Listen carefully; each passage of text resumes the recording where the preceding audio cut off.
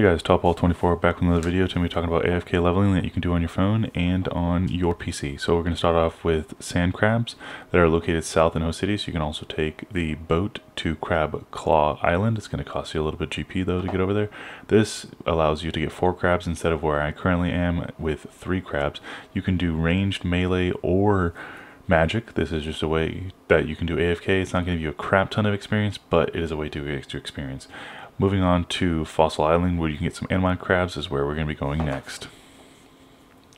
And here we are on Fossil Island with Ammonite crabs. I would highly suggest you be able to get to this. You get a lot higher level sand crabs technically, and you can continue to have three crabs around you, and it's a great way to AFK. The next AFK leveling method requires Monkey Madness 2, where you're going to kill maniacal monkeys, pretty much just grouping them together and then using a splash damage weapon.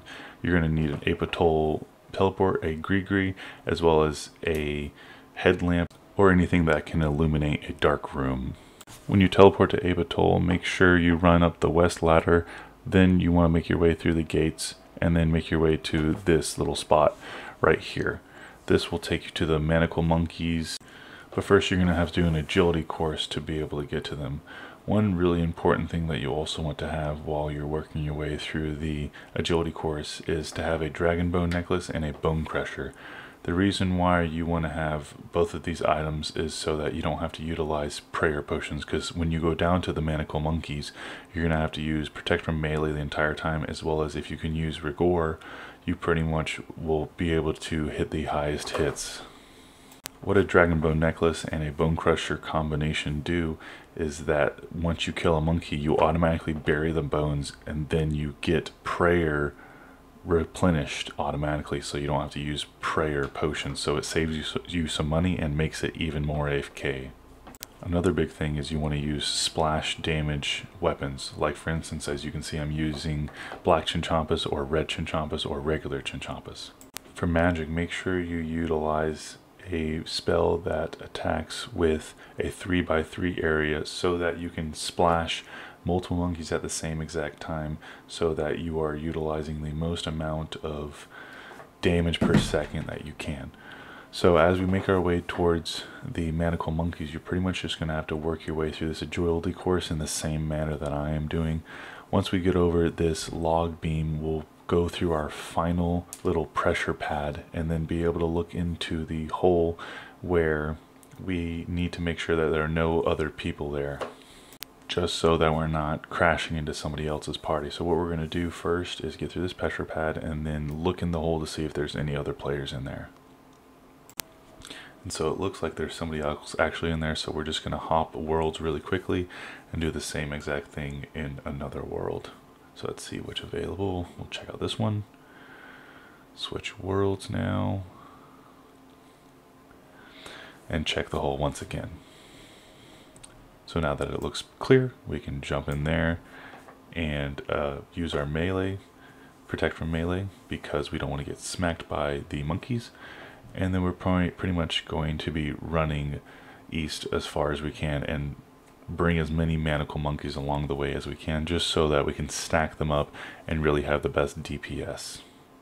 So as we're making our way around, make sure once again you have your headgear or an illumination item because if you don't have it you will start getting hit automatically by threes and you end up dying here you will lose all of your chinchompas.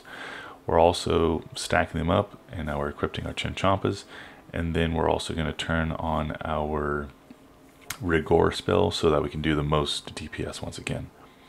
Now as you can see my prayer is going to be decreasing without my dragon bone necklace and my bone crusher. So this is your bone crusher and your dragon bone necklace.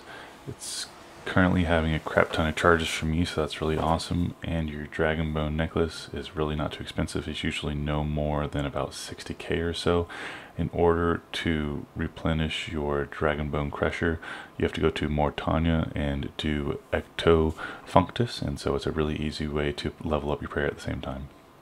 And for the best method is the Nightmare Zone, the most AFK method, which is located just north of Yanille. Realistically, I would watch a great video on this. I do suggest on your very first time, bring some prayer potions and some combat potions so that you can actually get some points and buy some absorption potions. pretty much what this does is it allows you to be really AFK and utilize the Trap Soul, Count Draynor, Sand Snake, King Roald, the Kendal, and the Khazard Warlord are my favorite, and that's who you will be killing in the actual Nightmare.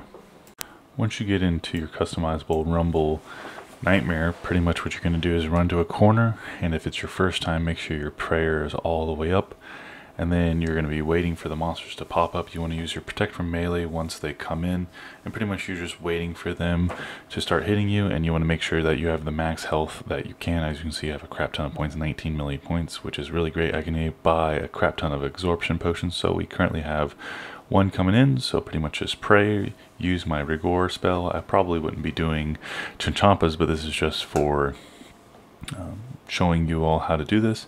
So if you do, though, have a lot of points, you can actually decrease your health all the way down to one and use absorption potions so that you can actually just sit there AFK and they can never hit you. They pretty much are just taking away your health from your absorption potions.